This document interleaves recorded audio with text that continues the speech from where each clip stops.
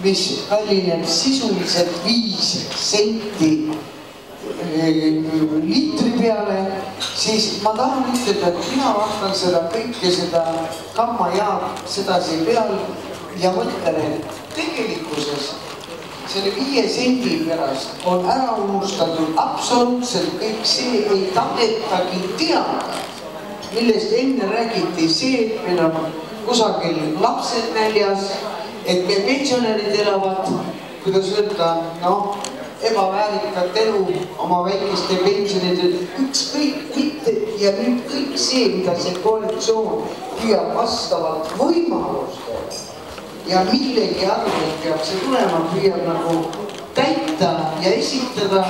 siis ei, see ei kõlba. aga ma ütleks teile, et olge rahul.